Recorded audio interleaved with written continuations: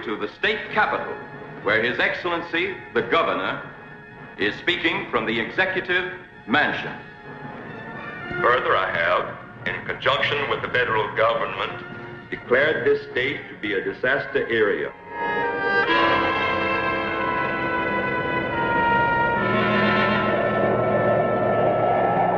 I was sent to keep you here until they come.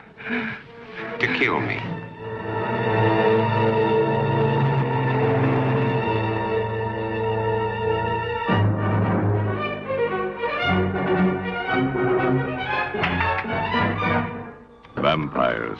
Alive among the lifeless, that make the night hideous with their inhuman cravings.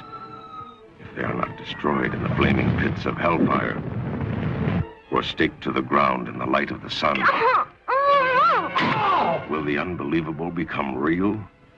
A world of inanimate zombies by day, irresistible, horrifying attackers by night. Can a zombie woman's hunger for love repopulate the earth? Oh,